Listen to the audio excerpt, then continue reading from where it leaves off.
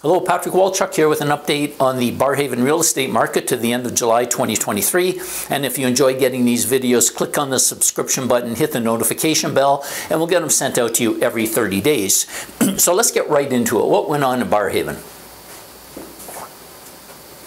So in terms of the number of unit sales, 106 homes traded hands, which is an increase of over 8% compared to last year.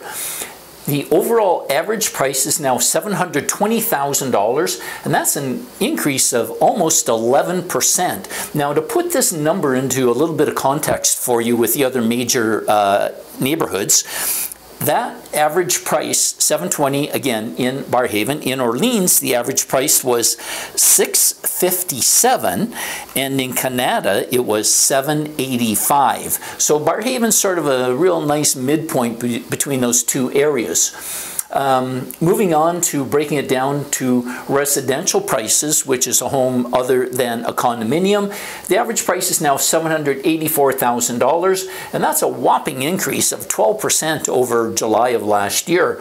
Condominiums have an average price of almost $427,000, and interestingly, interestingly enough, that's a, a decline of over 4% compared to last year. And in terms of how long it's taking to sell, uh, properties are selling in 22 days compared to 19 last year. And thank you for watching.